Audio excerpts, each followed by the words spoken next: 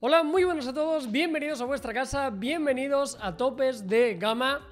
Nuevo recomendador, cada dos semanas aproximadamente lo hacemos y ahora tocaba. ¿Y por qué? Porque Xiaomi ha presentado nuevos dispositivos, Apple ha presentado nuevos dispositivos, Realme, Oppo. Así que la cosa ha cambiado bastante respecto a hace una o dos semanitas. Hay nuevos integrantes, hay teléfonos con una magnífica relación calidad-precio que entran en juego ahora y seguramente muchos de vosotros preguntaréis por ellos. Así que comenzamos con el recomendador.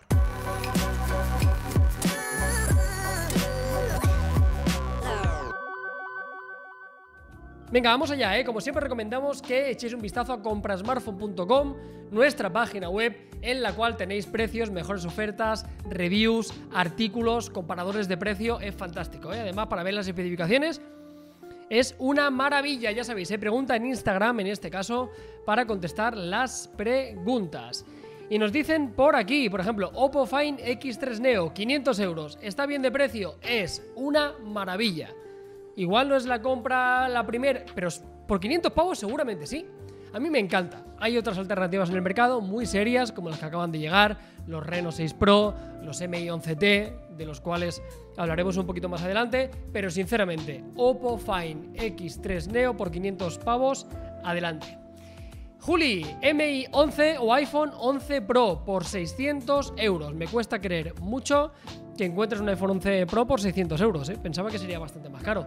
Aquí depende sobre todo qué es lo que quieres. O sea, ¿quieres iOS o quieres Android? Debes tenerlo muy en cuenta. Por ejemplo, el iPhone 11 Pro, ¿en qué es mejor? Pues tiene, en este caso, un ecosistema eh, mejor, tiene mejor grabación de, de vídeo y poco más, os digo, porque el MI11 tiene mejor pantalla, tiene, tiene 120 Hz, tiene mayor carga rápida.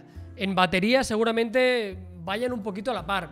Aquí la gran pregunta es, ¿quieres Android o quieres eh, un dispositivo de, Apple? Debo decir una cosa, si valoras mucho el apartado económico, un iPhone 11 Pro por 600 euros no te diré un caramelito, pero me parece que tiene muy buen precio. ¿eh? O sea, si es así, hostia, no lo dejaría pasar mucho porque eh, es una compra bastante sensata.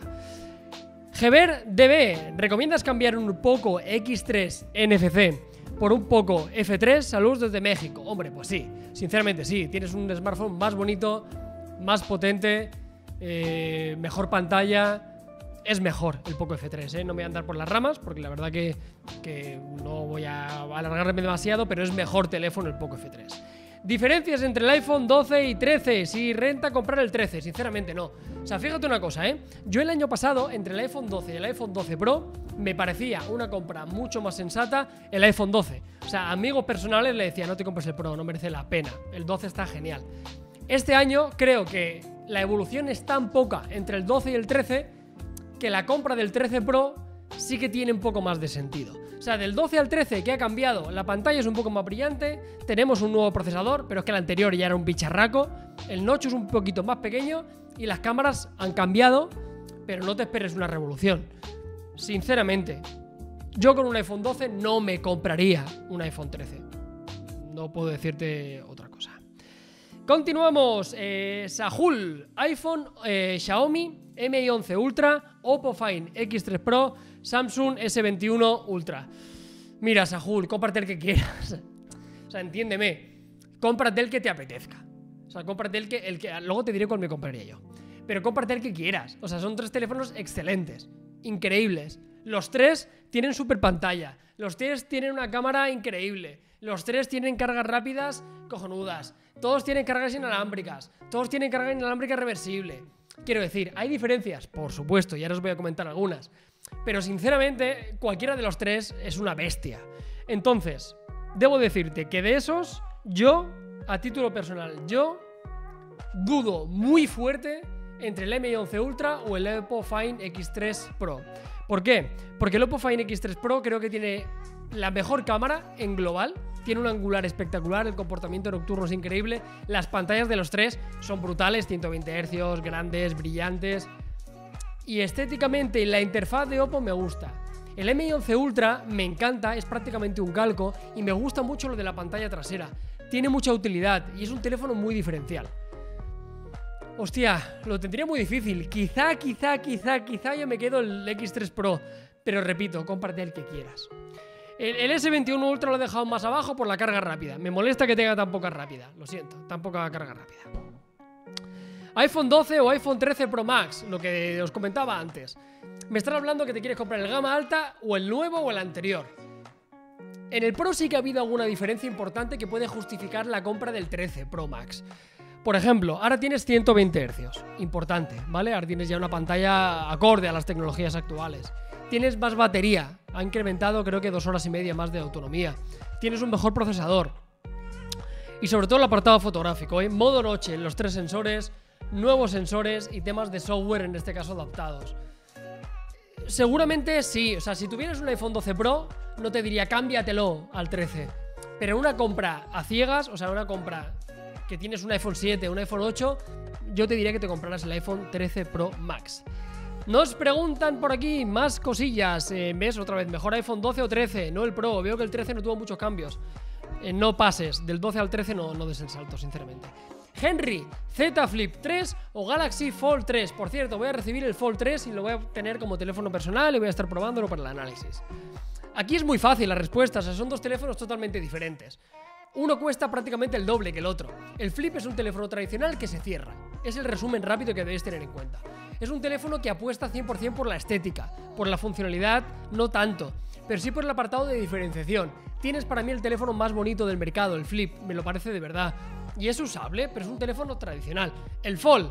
El Fold es potencia, es versatilidad, es multitarea, e-, es multiventana, es productividad, e-, es entretenimiento es expandir el doble de tu pantalla, ¿no? O sea, para mí el Fold es un teléfono mucho más interesante, infinitamente más interesante. Yo sería un usuario de Fold, eh, por delante que Flip.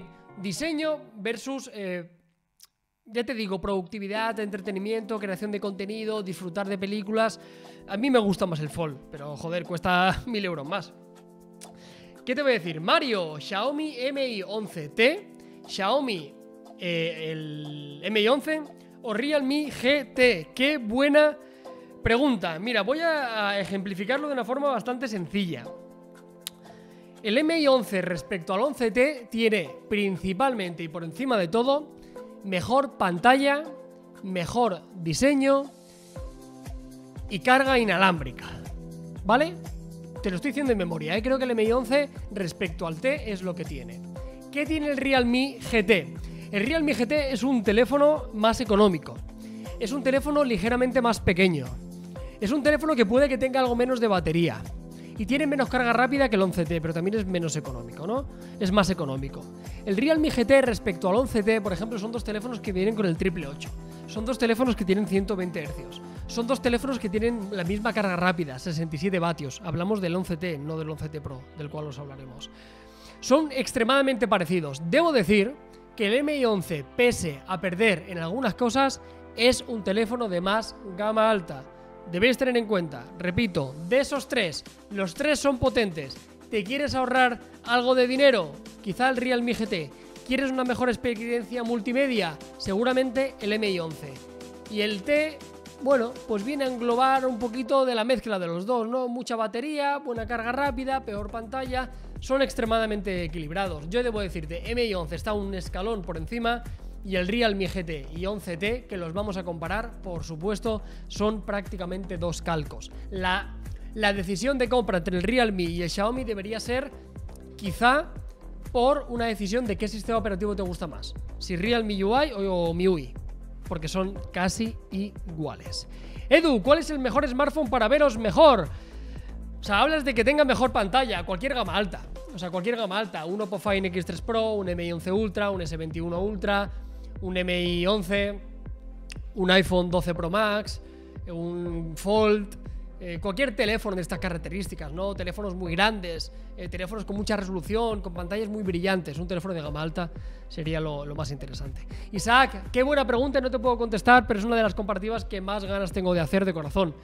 Isaac Muro Medina, Pixel 6 Pro o iPhone 13 Pro. No te puedo contestar porque el Pixel no ha salido, no lo hemos probado, qué tontería, pero son dos teléfonos que compartirán muchas cosas. Compartirán 120 hercios, compartirán quizá tamaños parecidos, compartirán configuración de cámara igual y seguramente dos de los mejores exponentes. En carga rápida ninguno de los dos será una locura. los dos son una experiencia pura, buen ecosistema. Son los archirrivales. Si quieres un Android pata negra, puro es el Pixel. Si quieres un iPhone, pues es un iPhone, no hay más opciones, ¿no?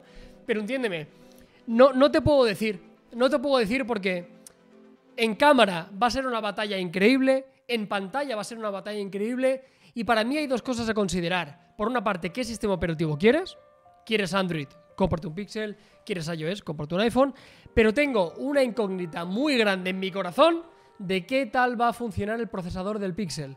Es un procesador que van a fabricar eh, ellos, eh, creo que en colaboración con algún gran fabricante, pero va a ser un procesador propio. Estará eh, optimizado, funcionará rápido, será eficiente. Hay muchas preguntas, falta que lo probemos, no, no te voy a contestar sin probar un teléfono. MOA 4, Oppo Reno 6 o OnePlus Nord 2. Pues vamos a echar un vistazo a comprar smartphone y vamos a hacer una cosa, vamos a compararlos porque sí que es verdad que estoy ligeramente... Eh, no sé muy bien las diferencias. Te digo por qué. Sé que el Reno 6 y el OnePlus Nord 2 comparten el mismo procesador, ¿vale? Mira, el Reno, por ejemplo, así por lo pronto, ¿eh? tenemos el mismo procesador, misma memoria, mismo almacenamiento, Baterías casi idénticas, casi, ¿vale? El del Reno es un poquito, un poquito menos de batería. Así que a nivel de potencia, de almacenamiento, de batería, de carga rápida, hay un empate total. La experiencia de usuario. La experiencia con el sistema operativo es mejor Oxígeno es, pero es que debajo de Oxígeno es, si rascamos, está Color OS. A mí me gusta más Oxígeno es y me decanto en el Nord, pero a efectos prácticos no habría muchísimas diferencias.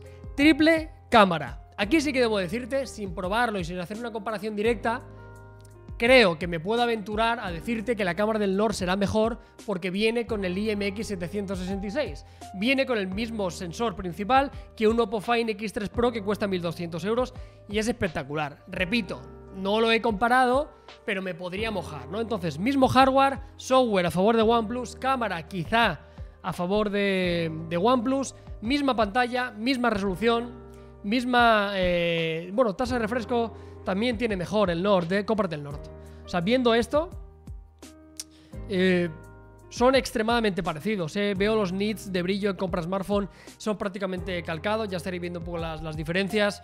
Yo me voy a quedar con el OnePlus Nord, pero desde aquí lo que te voy a decir es que vamos a hacer la comparativa seguro. Venga, reloj inteligente con 120 euros. Por 120 euros yo me compraría el de OnePlus, por ejemplo, que no está nada mal me compraría el Huawei Watch GT 2e. Ninguno de ellos te va a permitir pagar, ninguno de ellos te va a permitir contestar eh, aplicaciones, WhatsApp, pero sinceramente por 120 euros son dos de las mejores opciones del mercado. Vamos allá, Shino, busco un teléfono que cargue, que tenga carga inalámbrica que sea lo más barato posible. Pues carga inalámbrica y barato no es algo demasiado habitual. El MI11 ha bajado mucho de precio. Mira, voy a mirarte cuánto cuesta en compra smartphone el MI11 normal, 640 euros. Es que es lo que hay, ¿eh? quiero decir, o sea, no hay muchos más con carga inalámbrica. Te tienes que ir a Xiaomi, te tienes que ir a un iPhone eh, de generaciones anteriores, te tienes que ir a un Samsung. Eh, el MI11, seguramente. Si igual me equivoco, corregidme en los comentarios. Pero así de los populares, de que también sea un buen teléfono. O sea, no te voy a recomendar un teléfono que tenga carga inalámbrica, pero que lo demás palme. En líneas generales, buen teléfono, no muy caro, con carga inalámbrica, el MI11 me parece fantástico. Moya, mejor teléfono como para jugar la Play 5, importante, unos 45 pulgadas. A mí me encantan los de Sony, eh, son ready for PlayStation, tienen HDMI 2.1, que es lo más importante que debes tener en cuenta para poder reproducir contenido con alta tasa de hercios. A mí me gusta mucho la XH90 que analizamos. ¿eh? Creo que en 45 pulgadas puede que lo tengas LG también tiene algunas televisiones preparadas para la nueva generación de consolas, Samsung también, pero a mí las de Sony me gustan mucho, ¿eh? tienen Android TV, a mí me gusta mucho la calibración de sus paneles, yo tengo una Sony en casa, una OLED, eh, una OLED que no es compatible con PlayStation 5, o sea, no tiene HDMI 2.1, pero el panel es un escándalo, así que estoy, estoy muy contento, la verdad. Vamos allá, Little, tengo un MI 9T Pro. ¿Hay un gran salto de calidad cambiar al MI 11T eh, Pro para cambiar? Sí, hombre. Tendrás una pantalla mejor, tendrás eh, más carga rápida por encima de todo, va a ser una de las cosas que me va a notar. Vas a tener una mejoría seguramente en el apartado fotográfico, sobre todo eh, tendrás una mejor... ta- también por fotografía por el procesador. Tendrás nuevas capacidades, grabar en, en 8K, grabar en alta tasa de frames. Tienes un procesador más moderno y más potente. Será un teléfono que se actualizará durante más tiempo. Garantizará un tres actualizaciones de Android, que me parece una locura. Veremos si lo cumplen. Así que, a la pregunta, Carlos, tengo un 9T Pro, ¿me cambia al 11T Pro? Sí, yo creo que, vas a notar la diferencia, eh, sinceramente. De verdad que sí. OnePlus Nord 2, Poco F3, Mi11 Lite 9 Edition, Realme GT Master Edition. Hay demasiado donde rascar. El Realme GT Master Edition es increíble. El 11 Lite es sobre todo para la gente que quiere un teléfono pequeño y delgado. El Poco F3 es un poquito inferior en algunas cosas, pero la pantalla y el procesador es muy bueno. El Nord es súper equilibrado. Si me preguntaras, Carlos, de todos esos, ¿cuál te comprarías tú? Yo me compraría el Nord 2. Yo. Pero es que el GT Master Edition es un tiro. El Poco F3 es espectacular. Y el Lite es pensado para el diseño y la ergonomía y la ligereza. Yo me compraría el Nord 2. Pero desde aquí puedo decirte, cómprate el Poco, cómprate el Realme GT Master Edition con los ojos cerrados. No te estás equivocando. Es que al final, ¿sabéis? Hemos llegado a un punto que los teléfonos están francamente bien. O sea, hemos llegado a un nivel de similitudes entre todos ellos que es difícil encontrar muchas diferencias, ¿no? Que digas, hostia, cómprate este por, por esto, por... Son, muy, son muy iguales. Yo me compraría el Nord. No te puedo decir nada. Pixel 6 como sucesor del OnePlus 5. Hostia, estirando ahí el chicle, ¿eh? Muy bien. Sí que el OnePlus aguanta muy bien en el tiempo. Sí, el Pixel 6 puede ser un sucesor natural. Tendrás buena cámara. Quizá no tengas eh, un rendimiento espectacular y una carga rápida como esperas, pero es un sucesor digno. Es que a mí los Pixel me gustan mucho. No te puedo decir mucha cosa. iPhone 13 o iPhone 13 Pro. ¿Hay mucha diferencia? Un poco. ¿Qué cosas tiene el Pro? El Pro tiene pantalla más brillante, 120 Hz, más versión, tiene un poquito más de RAM, aunque Apple no lo diga, pero las versiones Pro tienen, tienen más memoria RAM. Tienes mejor cámara por encima de todo. Tienes eh, sensores diferentes, tienes modo noche en todos los sensores, tienes un nuevo teleobjetivo, tienes un nuevo gran angular.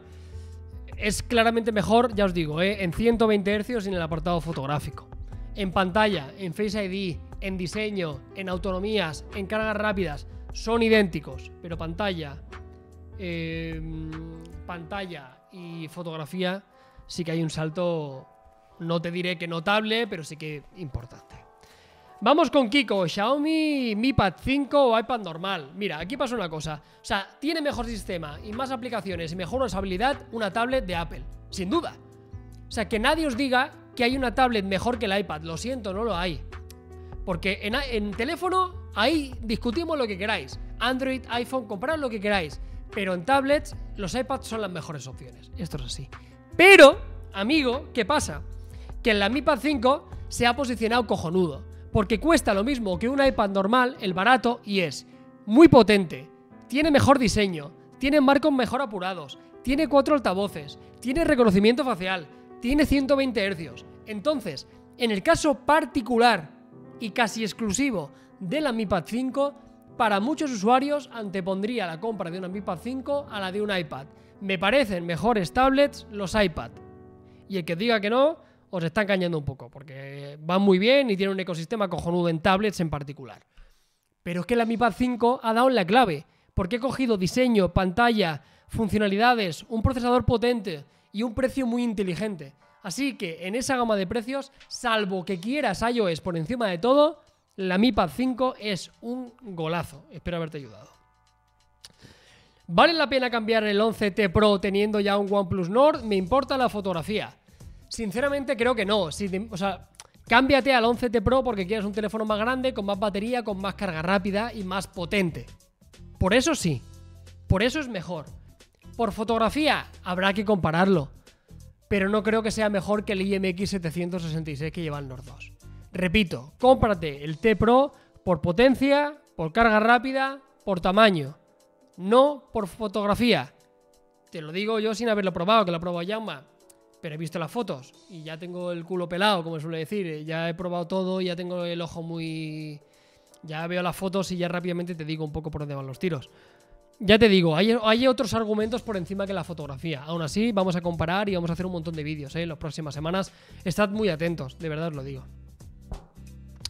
Ahora mismo vale la pena pagar por el Poco F3 o mejor el Redmi 10 Pro. Claro que vale la pena.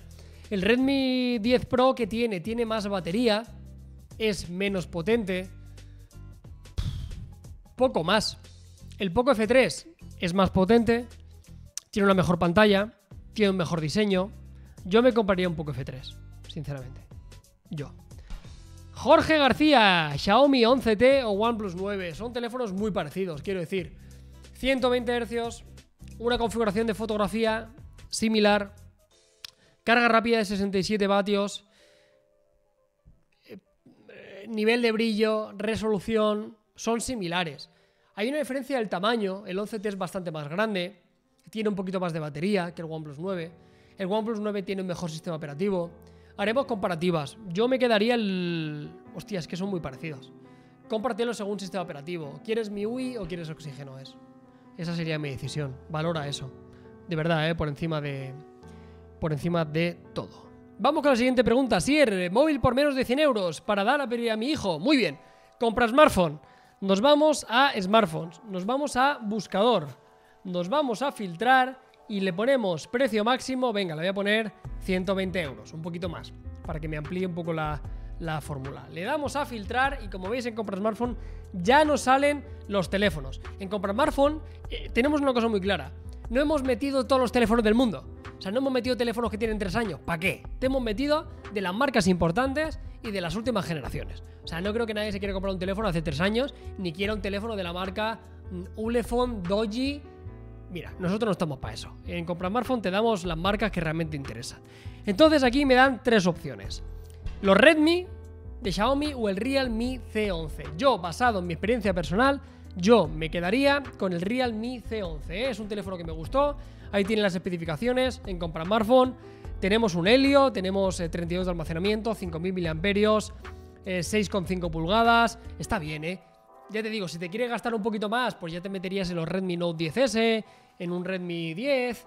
Pero por menos, por ahí van los tiros. ¿eh? Realme tiene teléfonos económicos muy, pero que muy buenos.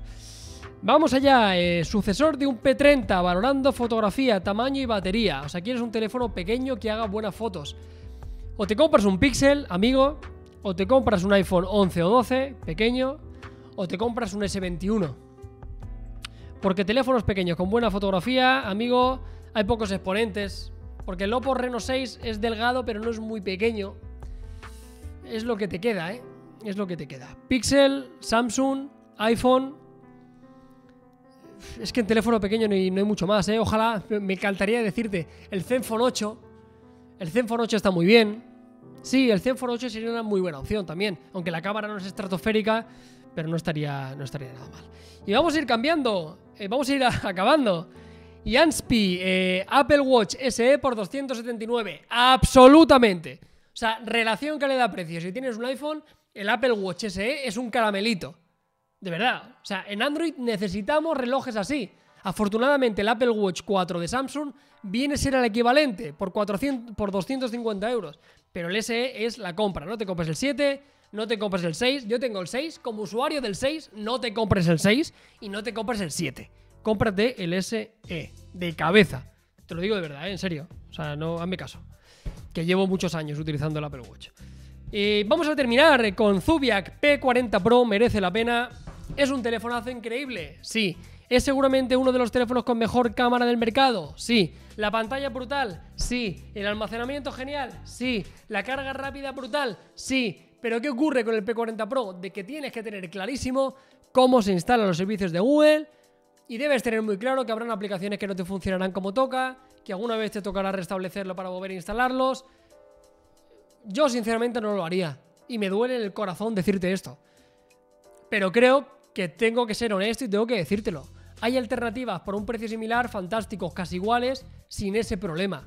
¿El P40 Pro me encanta? Sí. ¿Sería uno de los teléfonos del año? Sí, sin duda. Pero no tener los servicios de Google para mí es un hándicap muy importante.